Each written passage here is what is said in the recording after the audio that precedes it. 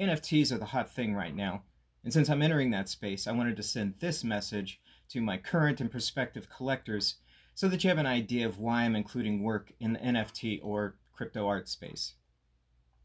First, a little background on me in case you're just discovering me as an artist. I'm an award winning author whose first work was on a desk in my ninth grade art class. That wasn't the work that earned me an award, though.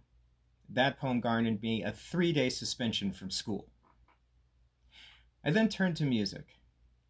But this was the 1980s, and black lead guitarists in heavy metal, progressive metal, and thrash metal bands were not only rare, but we weren't well accepted by most of, well, our musical peers at the time.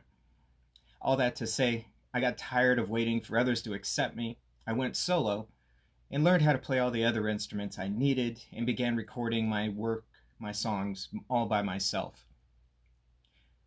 Lastly, in 2013, I got back into visual art. Remember that ninth grade art class? Well, that teacher and I never did get along, and that experience completely turned me off from visual art all the way from the 1980s to 2013. With visual art, I found my rhythm and my interest in street photography and toy photography and visually remixing the reality I captured on camera into the way I imagine the world to be. Now, let's talk NFTs because they're all the rage right now, and I wanted to state that I'm not here for the proverbial gold rush.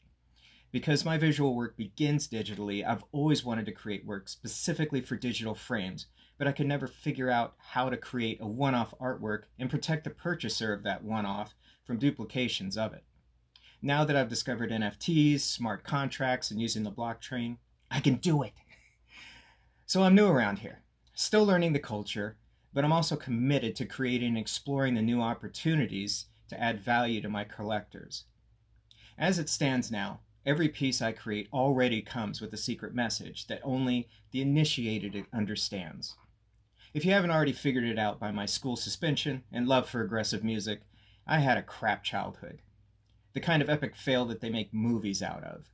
But I survived it by living inside my head and applying my imagination to reshape reality into something tolerable. Because every one of my artworks begins in the real world and is then reshaped by my, by my emotional reaction to that reality. Every one of my artworks carries the secret message that no matter what reality presents to you, imagination can help you get through it and turn it into something that serves you and the world.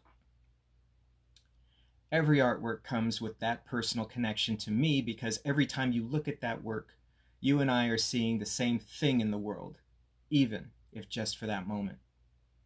So, yes, NFTs. They're the hot item right now. But beyond the artwork itself, be it digital or analog, I'm exploring how I can build community using the blockchain and the NFTs, with my collectors shaped around the idea of exploring our experiences in the world, discovering who we are in it, and from there, understanding which tribes we belong to.